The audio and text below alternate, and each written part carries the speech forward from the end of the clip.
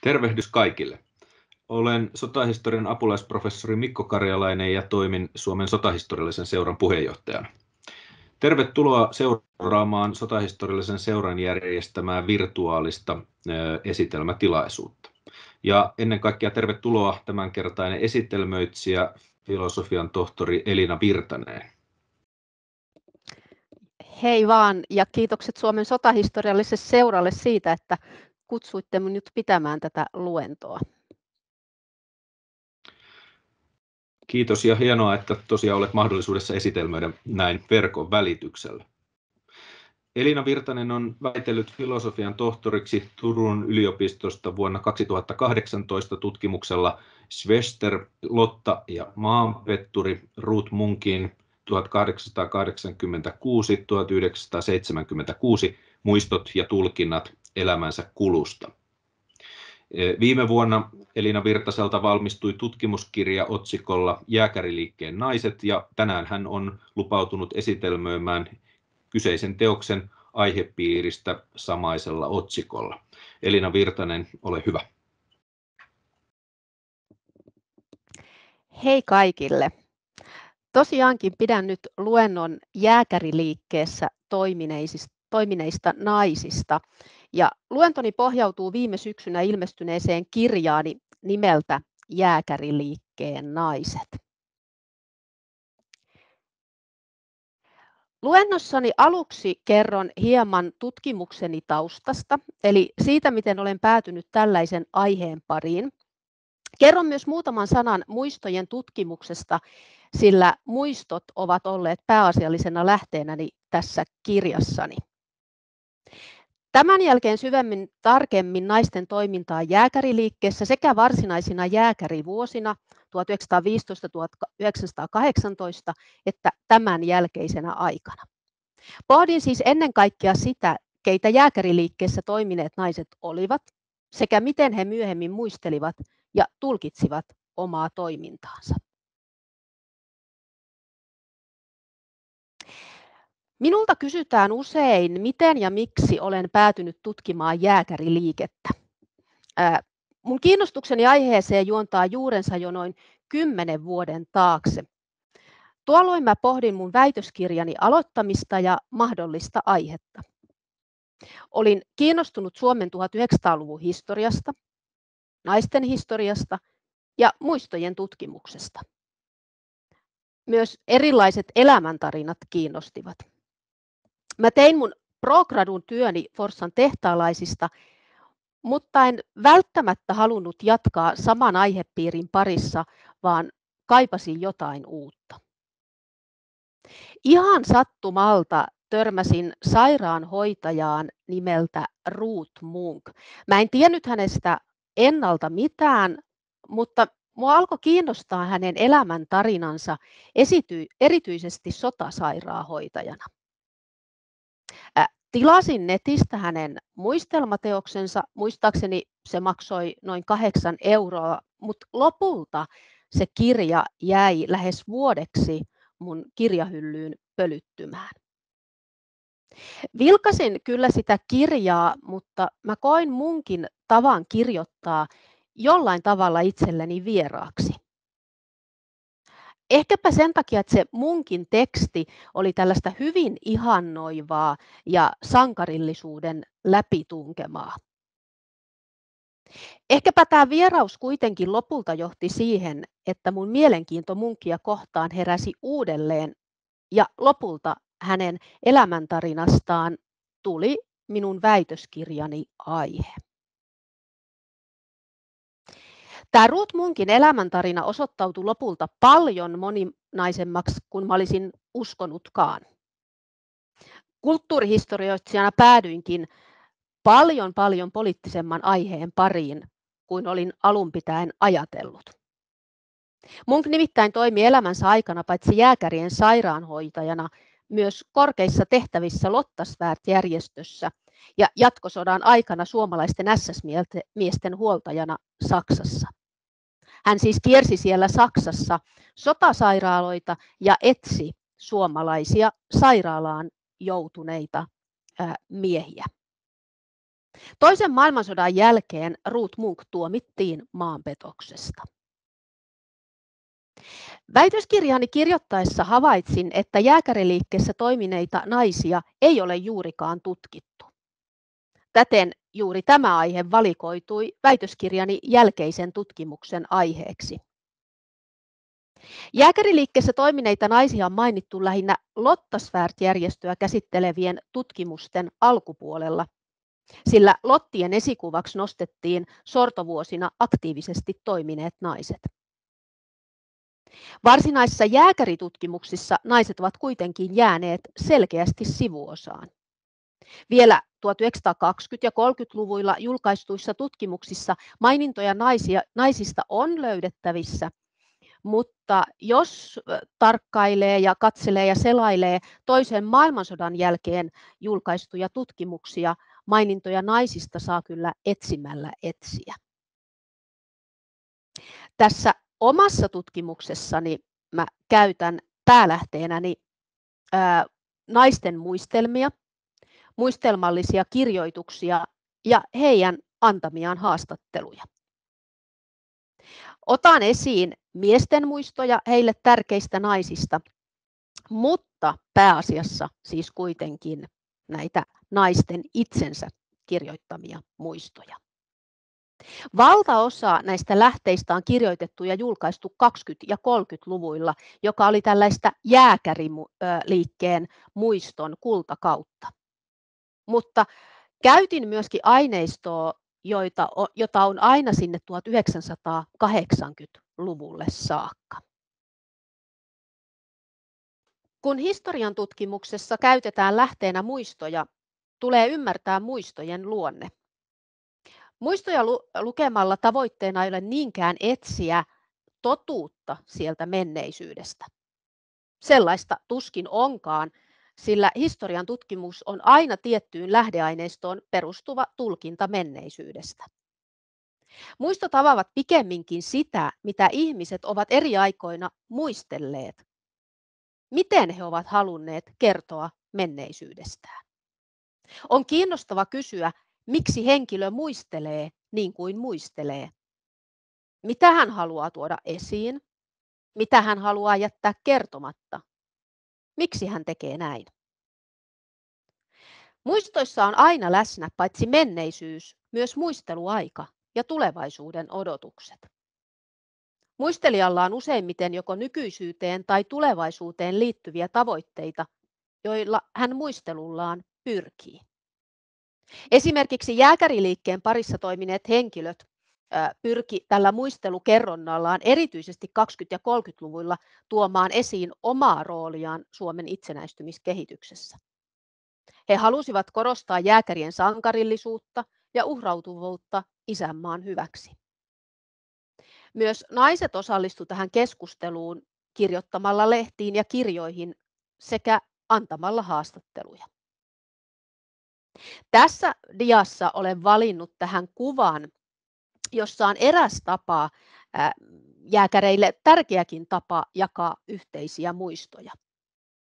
Kuva vuodelta 1966 Ruut Munkin kotoa Hausjärveltä Leponiemen kartanosta.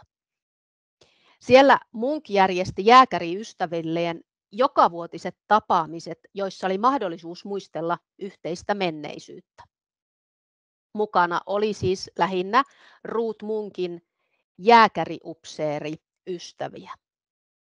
Tietenkään näistä keskusteluista ja muisteluhetkistä ei ole jäänyt mitään tarkkoja kirjallisia dokumentteja tai äänitteitä tutkijan käyttöön. Tämä on varmasti ihan tarkoituksellistakin, sillä Munk jossakin kohti muistelujaan muistan lukeneeni tämmöisen pätkän, niin hän kertoi siinä, että hänen tavoitteensa olikin tuoda tämmöinen yksityinen ympäristö tietylle joukolle ää, yhteisten muistojen jakamiseksi. Tällä luennolla mä tuon esiin joitakin suoria lainauksia jääkäriliikkeessä toimineiden naisten muistoista. Tällaisia lainauksia mä käytän myös paljon siinä kirjassani. Tässä ensimmäinen lainaus on Anni Walléniuksen vuonna 1978 julkaistusta nuoruuden muistelmista. Aivan siinä kirjan alussa hän kirjoittaa, minä olen minä. Aloitan itsestäni omasta elämästäni, siitä mikä on minulle totuus. Vanhuusvuosinaan Valleenius toikin esiin nimenomaan oman tulkintansa nuoruusvuosistaan. Tosin hän toi esiin myös sen, että hänen miehellään oli suuri merkitys hänen elämänsä kulkuun. Hän jatkaakin tässä. Rinnalla kuljetan pääasiassani toista elämää, sitä nuorta maisteria ja majuria, lopuksi kenraalimajuria, johon tutustuin ja johon rakastuin. Aviomies jääkärikenraali Kurt Martti Vallenius vaikuttikin suuresti tähän Anni Valleniuksen elämään aina siitä lähtien, kun he tapasivat opiskeluvuosinaan 1910-luvulla. Pari seurusteli jo silloin, kun Martti Vallenius lähti jääkäriksi Saksaan. Muistelmissaan Anni Vallenius kertookin siitä yksinäisyydestä ja toisinaan jopa epätoivosta, jota hän tuona aikana koki. Helpotusta oloon toi silloin tällöin rakastetulta saapuneet kirjeet.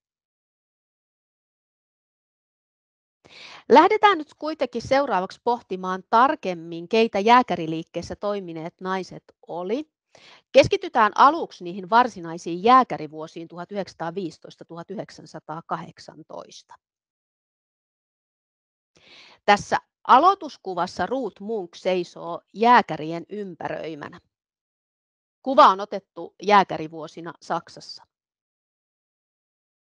Tämä kuva mun mielestä kertoo jotakin jääkäriliikkeestä ja naisten roolista siinä. Valtaosalle teistä kuulijoista varmaankin jääkäriliike on ainakin pääpiirteissään tuttu. Vuosina 1915-1918 Saksassa annettiin sotilaskoulutusta noin 1900 suomalaiselle miehelle. Koulutuksen lisäksi suomalaisten sotilastaitoa koeteltiin ensimmäisen maailmansodan itärintamalla. Tämän jääkäriliikkeen taustalla oli aktivistit, jotka vastusti Venäjän sortotoimia. Varsinaisten jääkärien lisäksi jääkäriliikkeeseen kuului moninainen joukko liikettä kannattaneita henkilöitä. Lienee jo itsestään selvääkin, että kukaan varsinaisista jääkäreistä ei ollut nainen. Sen sijaan 1930-luvulla julkaistuun jääkärimatrikkeliin pääsi kaksi naista. Jääkärien mukana Saksassa oli siis kaksi sairaanhoitajaa, toinen tässä kuvassa oleva Ruut Munk ja toinen Saara Rampanen. Ja kuten siis kuvasta näkyy, niin varsin miehisessä joukossahan nämä naiset työskenteli. Kuitenkin, vaikka naiset ei ollut varsinaisia jääkäreitä, niin he osallistuivat tähän jääkäriliikkeeseen monilla tavoin. Ja nyt seuraavaksi lähdenkin tarkastelemaan sitä, että mitä naiset jääkäriliikkeessä oikein tekivät. Osa, näitä jää, osa jääkäriliikkeessä kannattaneista naisista oli aktivisteja ja, ja he kannatti aktiivista vastarintaa Venäjää kohtaan. Esimerkiksi Suomessa toimi naisista muodostunut salainen ryhmä, niin sanottu naiskakaali. Nämä naiskakaalin jäsenet muun muassa keräs rahaa jääkäreille sekä valmisti vaatteita ja varusteita. Tämän kaltaiset tehtävät oli niitä tehtäviä, joita tuolloin vuosisadan alussa katsottiin, että oli naisille sopivia. Yleisesti siinä siis ajateltiin, että naisille sopivia toimikenttiä oli esimerkiksi erilaiset kotiin ja kasvatukseen ja hoivaan liittyvät tehtävät. Vaikkakin tämä naiskakaali aika paljon pidättäytyi tämänkaltaisissa tehtävissä, niin sen toiminnan taustalla oli vankka poliittinen arvomaailma. Esimerkiksi tässä diakuvassa oleva värikuva esittää Tekla Hulttinia, joka oli paitsi naiskakaalin perustajajäseniä, myös aktiivinen poliittinen toimija. Hän toimi elämänsä aikana muun muassa toimittajana ja kansanedustajana. Useimmat nämä naiskakaalin jäsenet oli jääkärivuosina jo noin 40-50-vuotiaita. Heillä oli vankka tausta sortovuosien aktivismista ja eri järjestöissä työskentelystä. Mutta heidän rinnallaan kulki sitten tällainen nuorimmista naisista, heitä sanottiin nuoret naisylioppilaat, niin heistä muodostunut tämmöinen joukko aktivistinaisia. Ja nämä naiset oli usein valmiimpia kuin naiskakaalilaiset rikkomaan naisille hyväksytyksi katsottuja tehtäviä. Muistelussa on mainintoja, että naisylioppilaat olisivat toivoneet jopa voivansa tarttua aseisiin päämääränsä saavuttamiseksi. Tämä ei kuitenkaan ollut hyväksyttyä. Sen sijaan nämä naisylioppilaat muun muassa kuljetti salaa varusteita, viestejä ja jopa aseita. Tehtävät olivat toisinaan vaarallisia ja pelkona oli kiinni jääminen maanpetoksellisen liikkeen tukemisesta. Tässä dian alhaalla keskellä on mun kirjan kannestakin tuttu otos, joka esittää kahta nuorta naisylioppilasta. Jääkärien sitten matkatessa sotilaskoulutukseen Saksaan, niin he kulki niin sanottuja etappiteitä pohjoiseen ja sieltä Ruotsiin ja edelleen Saksaan. Näillä reiteillä jääkärit ja toisaalta jääkärien värvärit tarvitsivat yösijan ja varusteita. Ja tässä työssä, tämän avun antamisessa, naisilla oli myöskin merkittävä rooli. Eräs kuuluisimmista jääkäreitä etappiteilla auttaneista naisista lienee Hallan akka, eli Lisi Heikkinen.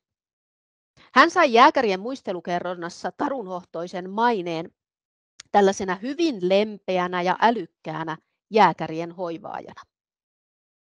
Tässä diassa alhaalla oikealla näkyy kuva Ellin Kosolasta, joka myöskin auttoi jääkäreitä etappiteillä.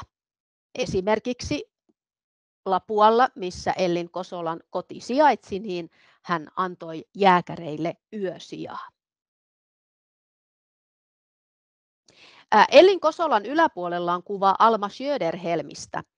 Hän taas oli Ruotsin puolella merkittävä jääkäreitä auttanut nainen. Hänen tehtävänään Tukholmassa oli vastaanottaa jääkärit, avustaa ja neuvoa heitä sekä hankkia heille passit. Sjöderem hoiti myös jääkärien kirjeen vaihtoa. Jääkärit eivät nimittäin voineet kirjoittaa Saksasta suoraan kotiin Suomeen.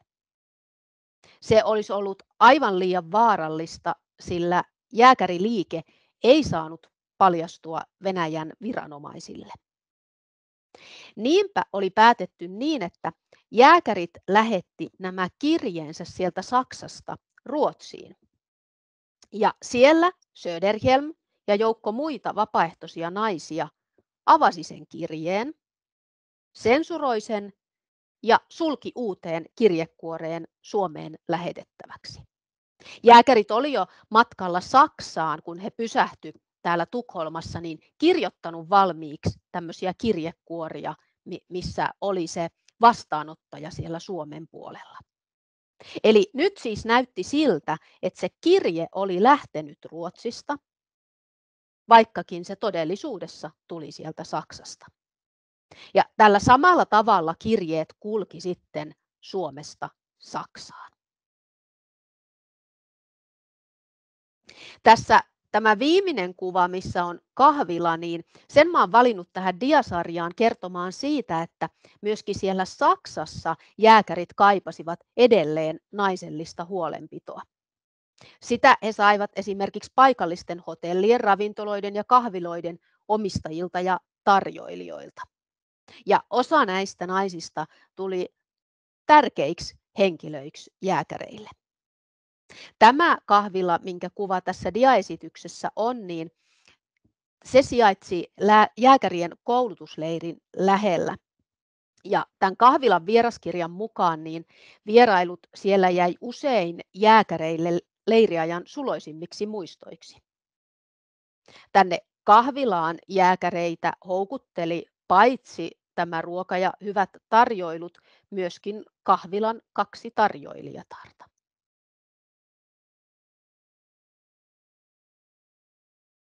Jääkäriliike sai kannattajia myös jääkärien ja jääkäriliikkeessä muilla tavoin toimineiden miesten äideistä, siskoista ja vaimoista. Erityisesti äidit nostettiin näissä jääkäritarinoissa merkittävään rooliin jääkärien tukijoina. Tarinoissa kerrottiin siitä, miten äidit uhrasi poikansa jääkäriliikkeen hyväksi. Erityisesti kerrottiin niistä äideistä, joita lähti monta poikaa tai sitten se ainoa poika jääkäriksi Saksaan. Tässä on kuva Aino Malmberista, joka oli itsekin aktiivinen poliittinen toimija ja jääkäriliikkeen kannattaja. Mutta oman toimintansa lisäksi Malmbergin perheestä kolme poikaa lähti jääkäriliikkeeseen. Oikeanpuoleinen kuva on puolestaan Mary Lindbergistä, joka, joka niin kuin tarinoissa nousi, nousi esiin siitä, että hän lähetti sen ainoan poikansa jääkäriksi. Myöhemmin sitten tämä jääkäripoika kuoli Suomen sisällissodassa.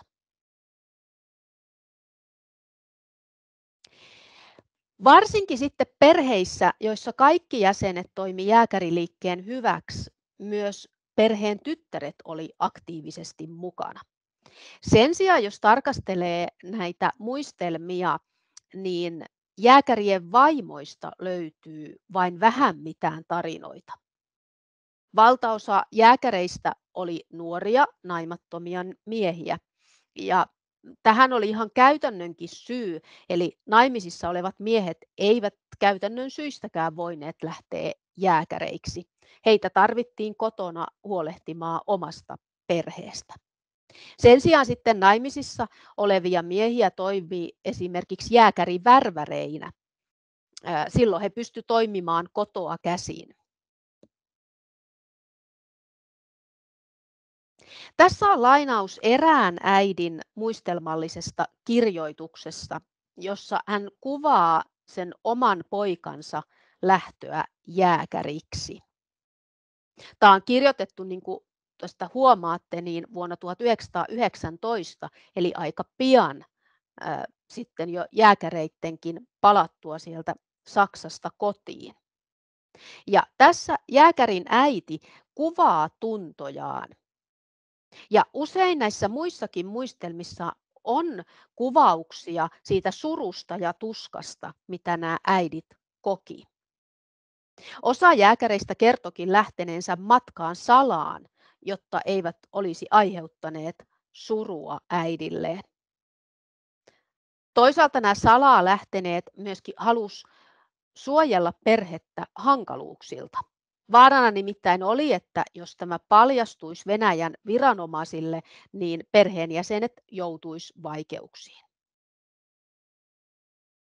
Osalla näistä jääkäreistä oli peitetarina matkasta. He esimerkiksi saatto kertoa, että he lähtee opiskelemaan Ruotsiin, vaikka todellisuudessa olivat Saksassa.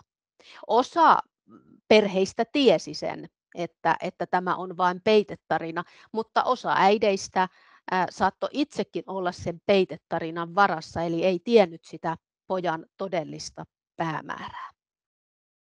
Oli myös niitä äitejä, jotka vastusti ihan viimeiseen saakka tätä pojan lähtöä jääkäriksi ja yleensäkin jääkäriliikkeeseen liittymistä. Luin jopa semmoisesta tarinasta, että, että vanhemmat hakivat pojan Ruotsista saakka takaisin, kun hän oli sinne jääkäriksi lähtenyt.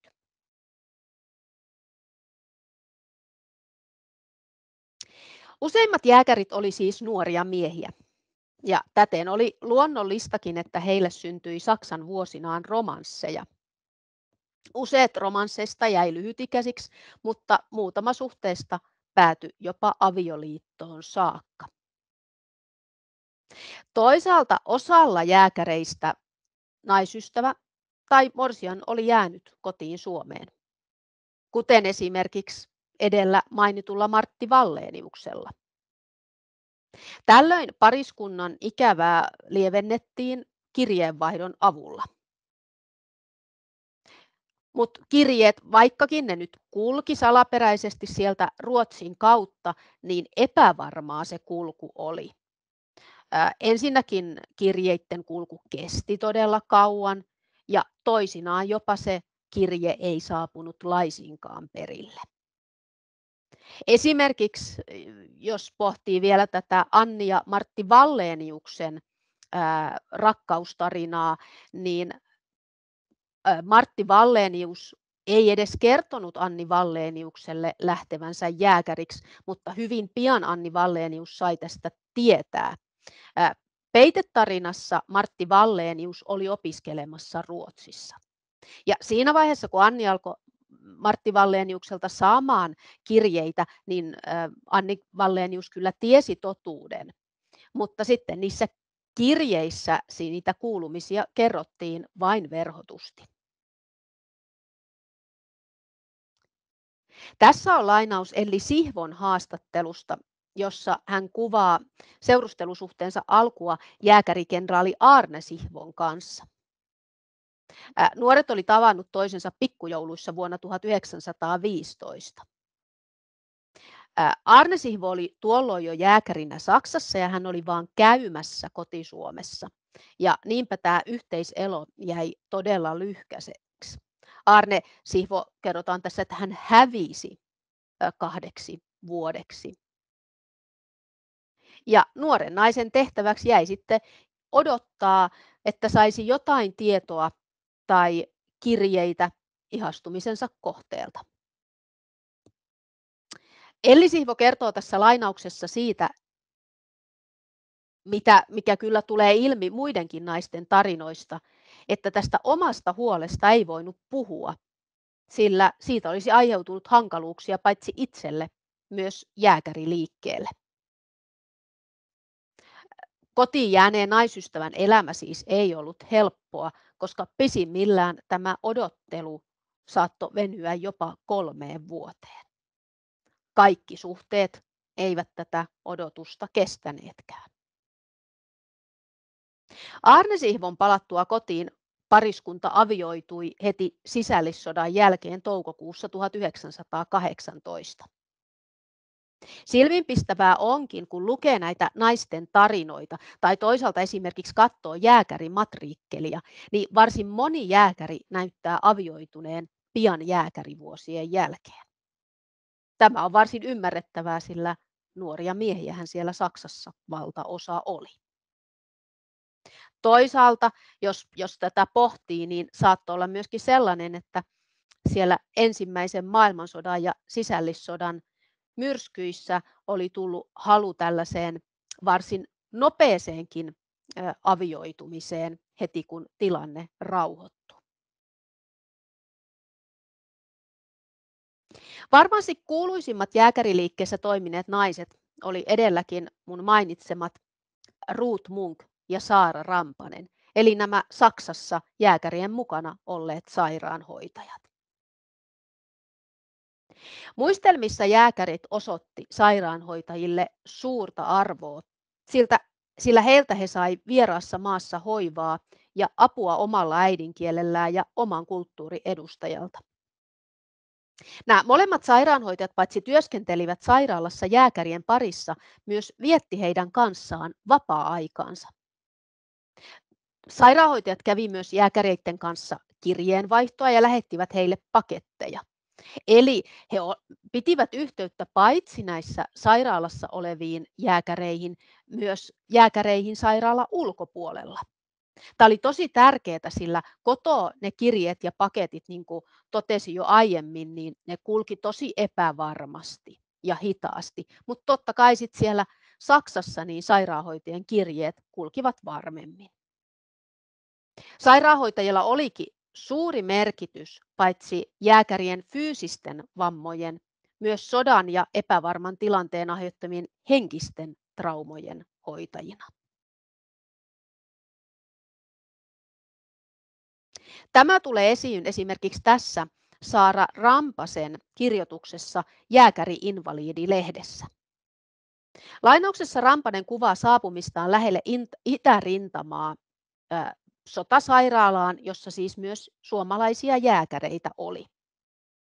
Ja ensitöisekseen Saara Rampanen keräsi nämä kaikki suomalaiset sotilaat samalle osastolle. Ja tässä muistoissa tulee ilmi paitsi ne jääkärien sairastumiset ja haavoittumiset, myös se yksinäisyys ja kotiikävä. Tämä teksti kertoo myöskin siitä, mikä oli sairaanhoitajan merkitys jääkäreille, mutta se kertoo myöskin siitä, että sairaanhoitaja oli tosi kiintynyt näihin potilaisiinsa. Kun Saara Rampanen kertoo tästä siitä, että hän näitä suomalaisia sieltä sairaalasta etsi sinne omalle osastolle, niin hän tässä viimeisenä sanookin, että tuo päivä oli syntymäpäiväni ja kaunein kaikista muistoistani.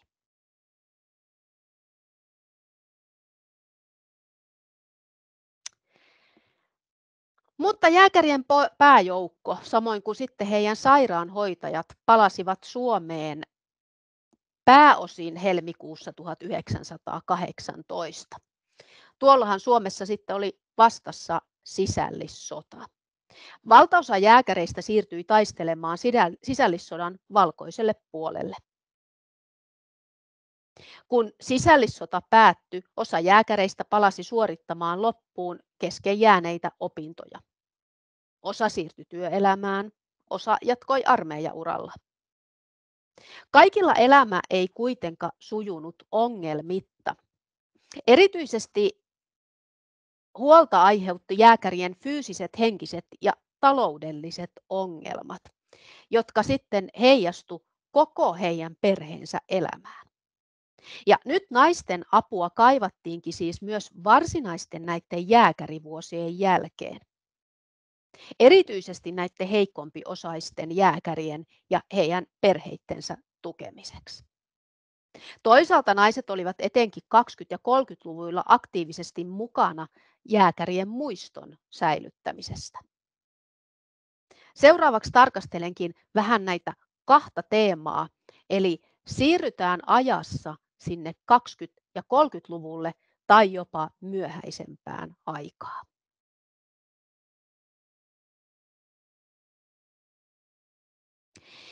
Eli naiset auttoi näitä heikompiosaisia jääkäreitä ja jääkäriperheitä monissa eri yhdistyksissä. Ja nämä yhdistykset oli perustettu 20-luvulla. Lotta Svärd-järjestöhän vietti juurikin satavuotisjuhliaan Eli Lotta Svärd-järjestö perustettiin vuonna 1921. Ja myös tähän järjestöön liittyi jääkäriliikkeessä toimineita naisia. Usein kirjoituksissa kuvataankin sitä, että Lottien toiminta oli jatkoa sortovuosien naisten aktivismille. Mutta ei voida sanoa, että jääkäriliikkeen naiset olisivat jotenkin merkittävällä tavalla liittyneet Lotta-järjestöön tai että he olisivat nousseet siellä merkittäviin johtotehtäviin. Ruth Munk oli kuitenkin eräs niistä henkilöistä, joka toimi muun muassa Lottasvärd-järjestön keskusjohtokunnassa ja hän oli aktiivisesti mukana Lottien kansainvälisessä toiminnassa, erityisesti Saksan suuntaan. Tässä diassa keskellä näettekin kuvan Ruut Munkista Lottapuvussa ja siinä näkyy hänet, hänen runsaat kunniamerkkinsä. Kenties juuri näiden yhteisten jäsenten ja, ja toki myös suojelukuntayhteyksien vuoksi Lotat avusti jääkäreitä ja ylläpitivät jääkäriliikkeen muistoa. Lotat esimerkiksi järjesti keräyksiä, joiden tulot luovutettiin heikompiosaisten jääkärien tukemiseksi. Toisaalta sitten Lotta Svät-lehdessä tuotiin esiin jääkärien ja jääkäriliikkeessä toimineiden naisten työtä. Näin Lotat antoi esikuvia oman järjestönsä naisille. He kertovat siitä, että mitä, miten naiset oli aiemmin toiminut maanpuolustuksellisissa tehtävissä. Sotilaskotityö liittyi myös jääkäriliikkeeseen, sillä jääkärit toi idean Suomeen Saksan mallin mukaisesti. Ja ensimmäiset sotilaskodit perustettiin jo vuoden 1918 lopussa. Katri Päriholm, joka oli toiminut jääkärien hyväksi jo naiskakaalissa, nousi vuonna 1921 perustetun sotilaskotiliiton johtoon. Ja tässä tehtävässä hän työskenteli aina vuoteen 1937 saakka. Voidaankin ajatella, että tämä sotilaskotityö henkilöity alkuvuosinaan tähän valovoimaisena pidettyyn johtajaansa. Jääkärikotisäätiö puolestaan aloitti toimintansa joulukuussa 1928. Ja sen tavoitteena oli auttaa fyysisistä, henkisistä ja taloudellisista ongelmista kärsineitä jääkäreitä. Ja tavoitteena oli perustaa jääkärelle lepo- ja vanhuuden koti, jääkärikoti. Ja myös naiset olivat tässä puuhaamassa tätä jääkärikotia. Vuonna 1931 jääkärikotisäätiö oli saanut tarpeeksi varoja, jotta se pystyi ostamaan Kuolemanjärveltä Karjalan kannakselta Hatjalan kartanon. Aluksi sinne kartanoon pystyttiin ottamaan vain muutama jääkäri, niitä oli aluksi viisi, mutta sitten vähitellen määrä lisääntyi vuosien mittaan. Mutta talousvaikeuksista tämä jääkärikoti kärsi oikeastaan koko ajan. Eli pitää muistaa, että 30-luvun alku oli taloudellisesti vaikeaa aikaa maailmanlaajuisen laman vuoksi. Ja osittain näistä talousvaikeuksista johtuen jääkärikoteen pystyttiin ottamaan asukkaiksi vain perheettömiä jääkäreitä. Vuonna 1937 jääkärikodin yhteyteen saatiin kuitenkin rakennettua erillinen rakennus, johon pääsi muuttamaan kokonainen jääkäriperhe. Ja aika alkoikin näyttää jääkärikodin kannalta valoisammalta. Mutta sitten vuonna 1939 syttyi talvisota ja talvisodan aikana Hatjalan kartano tuhoutui ja jäi Neuvostoliiton puolelle. Merkittävä tällainen yhdistys, jossa naiset tuki heikompiosaisia jääkäreitä ja jääkäriperheitä, oli Jääkärirovvain yhdistys. Tämä yhdistys perustettiin suunnilleen samaan aikaan kuin Jääkärikotisäätiö, eli vuonna 1929. Ja sen merkittävänä toimintamuotona oli erilaisten avustusten, kuten vaatteiden ja kenkien sekä ruoka- ja vuokra-avustusten jakaminen. Lisäksi yhdistys tuki heikompiosaisia perheitä yleisesti terveydenhuoltoon liittyvissä asioissa. Tämä yhdistys myöskin järjesti työmahdollisuuksia ja jakoi kouluavustuksia. Ja jotta sitten tämmöisiä avustuksia pystyttiin jakamaan, niin varojen keruunhan piti olla aktiivista. Ja nämä naiset järjesteli muun muassa monenlaisia juhlia ja konsertteja. Avustustyön lisäksi Roville oli tärkeää ylläpitää suhteita miehiensä aseveljen puolisoihin. Eli myöskin tällaisten sosiaalisten suhteiden ylläpito oli tärkeää. Ja tämä tuli yhä tärkeämmäksi sitten ajan saatossa. Eli toisen maailmansodan jälkeen hän luonnollisestikin jääkärirovien yhdistyksen avustettavien määrä väheni. Esimerkiksi jääkäriperheiden lapset kasvoivat jo isoksi ja, ja he, he oli jo itse töissä, eivätkä tämmöisiä avustuksia tarvinneet. Ja silloin tämä naisten toiminta keskittyi yhä enemmän jääkärien leskien avustamiseen, toisaalta tämmöisiin yhteisiin rovvien retkiin ja tapaamisiin. Merkille pantavaa on, että rovvien yhteistoiminta jatkuu aina 80-luvulle saakka. Tässä on Elinor Ivalon kirjoitus Jääkäri-invaliidi-lehdessä vuodelta 1929. Tästä lehdestä voisi sanoa sen verran, että se ilmestyi kerran vuodessa vuosina 28-39 ja se oli nimenomaan tällainen eräs tapa kerätä näille heikompiosaisille jääkäreille ää, avustusta. Eli lehden myyntitulot menivät jääkärien tukemiseen. Tämä Ivalon kirjoitus, joka oli nimeltään Eräs kokous, liittynee jääkärikotisäätiön perustamiseen. Tässä kirjoituksessa Ivalo kuvaa sitä tilannetta, joka näillä heikompiosaisilla jääkäreillä oli ja kuinka kipeästi ne sitä apua tarvitsi. Kirjoitus oli osa myöskin sitä keskustelua, jota meidän yhteiskunnassa oli käyty sisällissodan jälkeen yleisestikin sotilaiden saamista korvauksista. Jääkärit oli sitä mieltä, että he eivät saaneet valtiolta riittävästi tukea. Ja niinpä tämä vapaaehtoistyö, johon naiset osallistu, muodosti tärkeän osan jääkäreiden tukemista.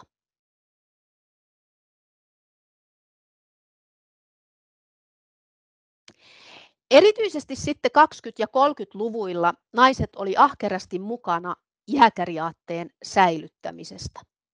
Naisille oli tärkeää ylläpitää jääkärien kunniakasta ja sankarillista muistoa ja korostaa koko jääkäriliikkeen merkitystä Suomen itsenäistymiskehityksessä.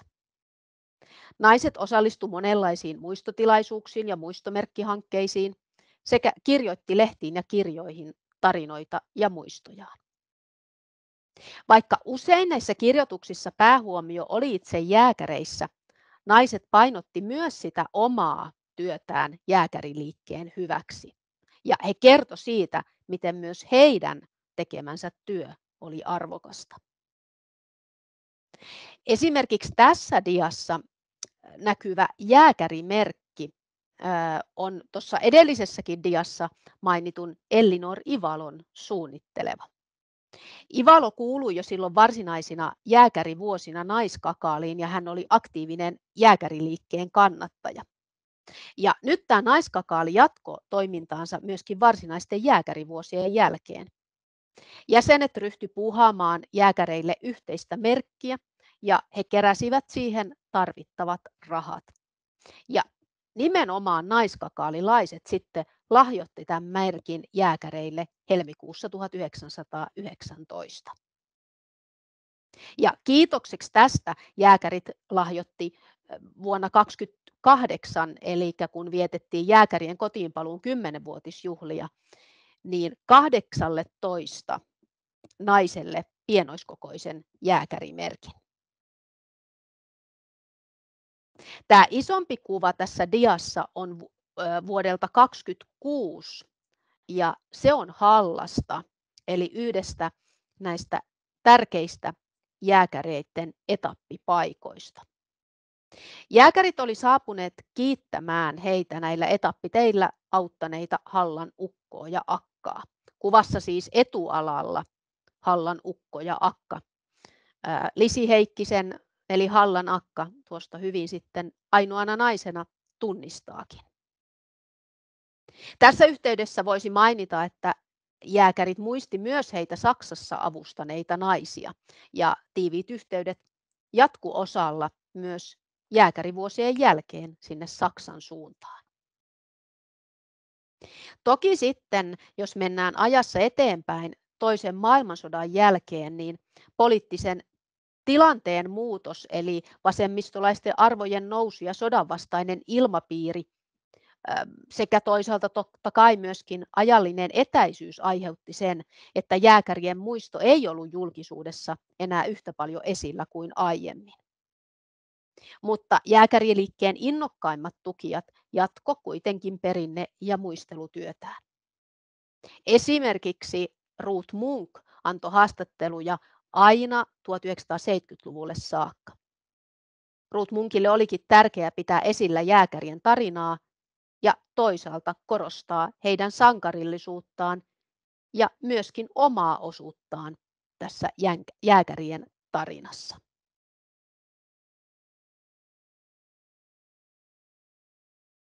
Molemmat jääkärien sairaanhoitajat oli julkaissut jo 30-luvulla erilliset muistelmateoksensa.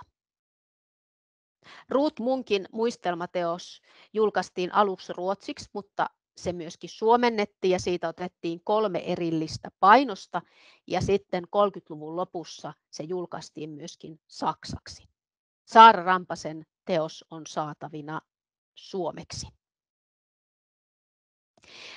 Tässä mun valitsemassa otteessa näkyy mun mielestä hyvin se, e, miten Munk kirjoittaa suoraan niille jääkäreille, osoittain tukensa ja osoittain sitä, että he olivat samaa joukkoa siellä Saksassa.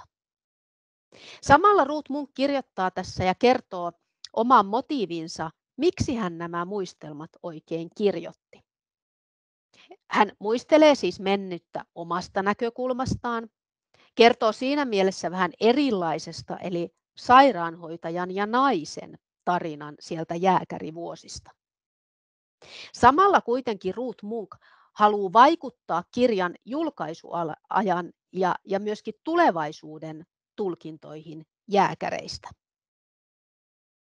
Mielestäni on jopa, kun lukee tätä kirjaa, niin mielenkiintoisempaa pohtia siitä, että mitä se kertoo siitä 30-luvusta. Ja tästä me oikeastaan päästään pohtimaan sitä mun alussakin tuomaa ajatusta siitä, että muistoissa on läsnä niin mennyt, eli se munkin jääkäriaika, kuin se kerrontahetken nykyisyys. Eli se 30-luvun alku, jolloin Runt Munk tätä kirjansa kirjoitti. Kuin tulevaisuuskin, eli se, mitä Munk haluaa, että, tai miten hän haluaa, että tulevaisuudessa jääkäreitä muistetaan. Ja kaikki nämä mennyt, nykyisyys ja tulevaisuus näissä muistoissa on vaikuttanut siihen, millainen kuva jääkäri liikkeessä ja toisaalta myös siinä toimineista naisista on eri aikoina syntynyt.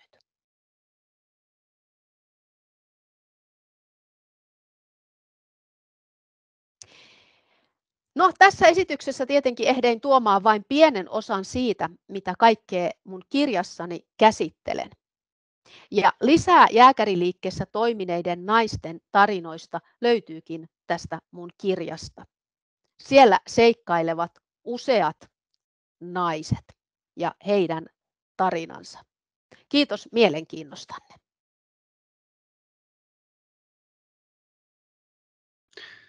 Kiitokset Elina Virtanen erittäin mielenkiintoisesta esitelmästä, joka alaisi poikkeuksellisen hienolla tavalla – vähän aiemmin tutkittua osaa jääkäriliikkeestä ja siihen ennen kaikkea eri tavoin liittyneiden naisten historiasta.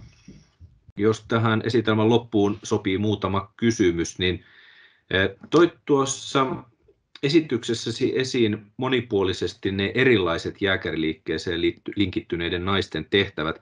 Jos perheenjäsenet jätettäisiin pois tarkastelusta, niin onko Eh, näistä naisista löydettävissä jotain yhteisiä piirteitä sinun tutkimustesi pohjalta? No kyllä mä pääasiallisesti näen, että mä en halua tietyllä tavalla tyypitellä heitä mihinkään, että heillä olisi, olisi niin kuin mm, jotain tietynlaisia niin kuin tyypillisiä piirteitä, mutta, mutta varmasti tietenkin tämä täytyy nostaa esiin se heidän jääkäriliikkeen kannattamisensa ja se heidän aatemaailma, joka tietenkin heitä kaikkia yhdisti. Eli, eli toisinaan nähdään jotenkin vain se, että naiset oli tämmöisissä avustavissa tehtävissä. M- mutta täytyy muistaa, että, että vaikka he nyt varsinaisia jääkäreitä ollutkaan, niin kyllä heillä oli ihan monillakin poliittinen ajatusmaailma siellä, siellä tota taustalla. Mainitsit esityksessäsi, että jääkäreiden mukana oli kaksi suomalaista sairaanhoitajaa, joista olet Ruth Munkin vaiheita tutkinut syvällisesti. Mainitsit myös toisen sairaanhoitajan nimeltä Saara Rampanen. Mitä osaisit kertoa hänen elämän vaiheistaan? No Saara Rampanen jos niin kuin, tavallaan heitä vertaa, jos näin voi sanoa, niin, niin hän oli siinä mielessä vähän erilainen taustaltaan kuin Ruth Munk. Ruth Munk oli äh, vapaaherratar, suuren kartanon tytär, hän oli äidinkiel, hänen äidinkielensä oli ruotsi, niin Saara Rampanen taas oli, oli tota su, suomenkielinen. Hän oli lähtenyt jo ennen varsinaista jääkäriliikettä niin Saksaan, eli hän oli siellä jo valmiiksi ja hän sai siellä sitten kuulla tästä jääkäriliikkeestä. Ja tässä vaiheessa hän liittyi tähän, tähän jääkäriliikkeeseen mukaan ja heidän sairaanhoitajaksi. Mutta sitten näitä naisia yhdisti selkeästi se, että he olivat täysin saman ikäisiä. Ja, ja heistä tuli sitten myöskin hyvät ystävät ja he oli sitä koko elämänsä ajan. Mutta jääkärivuosien jälkeen niin Saara Rampanen no, no kummatkin naiset olivat esimerkiksi Lottia, mutta Saara Rampanen lähti esimerkiksi Amerikkaan pitkäksi aikaa. Hän oli vuosia Saksassa ja hän teki koko elämänsä ajan sairaanhoitajan töitä, kun Ruth Munkhan ei sitten myöhemmin varsinaista niin kuin, sairaanhoitajan työtä tehnyt. Toit esitelmässäsi monia kiintoisia seikkoja esille jääkäriliikkeen naisista. Tuliko tutkimuksissa esiin jotain sellaista, joka hätkähdytti, joka sai sinut ihmettelemään, että voiko asia olla todella näin? Voi varmasti. Mitäs nyt ottaisi esiin? Tieten, tietenkin mä olen niin, niin pitkään ikään kuin, mä olen varmaan kymmenen vuotta jo tutkinut näitä, näitä jääkäriliikkeen naisia. Varmaan ihan viime aikoina ihan hätkähdyttävää ei ole, mutta ehkä nyt kuitenkin jollain tavalla se, että kuinka aktiivisia ne naiset lopulta oli. Ja, ja varmaan senkin osasi arvata, että he tietyllä tavalla osa sitten toimi ikään kuin siellä taustalla, mutta heidän roolinsa olikin paljon merkittävämpi. Ja, ja se tietyllä tavalla ää, hätkähdyttää. Jos nyt yleensä ajattelisit, mikä mun mielestä oli tosi niin kuin mielenkiintoista, ja, ja siinä mielessä ehkä myöskin hätkähdytti, niin, niin oli tämä nuorten naisten, niiden naisten, jotka vasta seurusteli näiden jääkäreiden kanssa siinä jääkärivuosina, niin, niin se heidän tarinansa ja, ja toisaalta myöskin se, että vaikka puhutaan niinkin vanhoista asioista, niin kuinka samanlaista voisi kuvitella, että se tunnemyrsky silloin oli siitä, että, että se mm, miesystävä olikin sitten yhtäkkiä pari vuotta pois. Olet tutkinut Ruth Munkkia, olet tutkinut jääkäriliikkeen naisia. Jos saisit ohjata tutkimuksen tekoa tästä eteenpäin, mitä, mitä teemasta pitäisi vielä tulevaisuudessa tutkia? Nimenomaan jääkäriliikkeestä. Kyllä. Mm, joo.